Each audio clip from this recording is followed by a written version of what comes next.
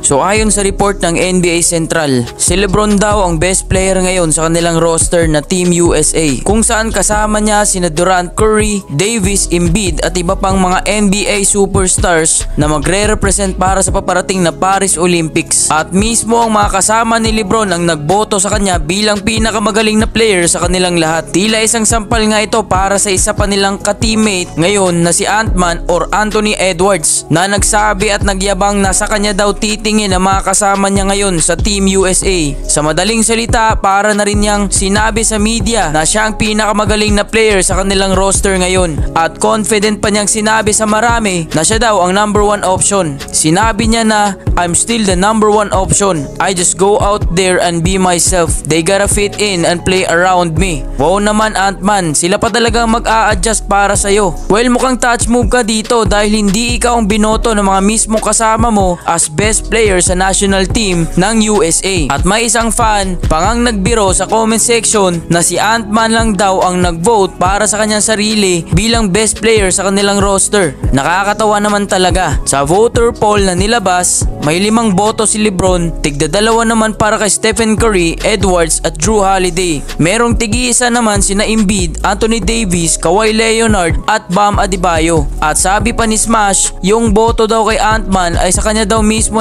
nanggaling yung isa. I'm still number one us. I mean, y'all might look at it different. I'm still number one us.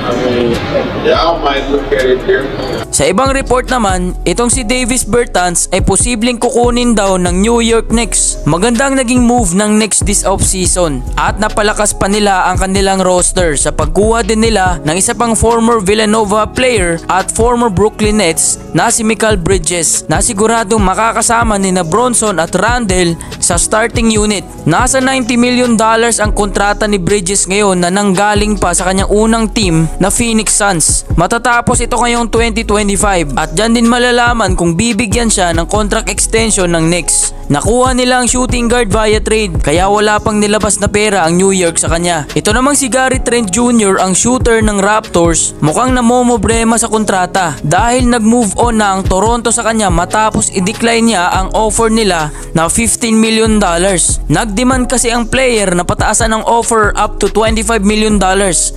Kaya ayun, pera na sana naging bato pa. Binaliwala na siya ngayon ng Raptors at hindi rin sigurado kung may magbibigay pa sa kanya ng 10 to 15 million dollars na ibang team sa NBA. Sinayangan niya lang ang 15 million dollars na inoffer ng Raptors sa kanya. Nasa 877 million pesos na sana yun sa ating pera. 30 seconds.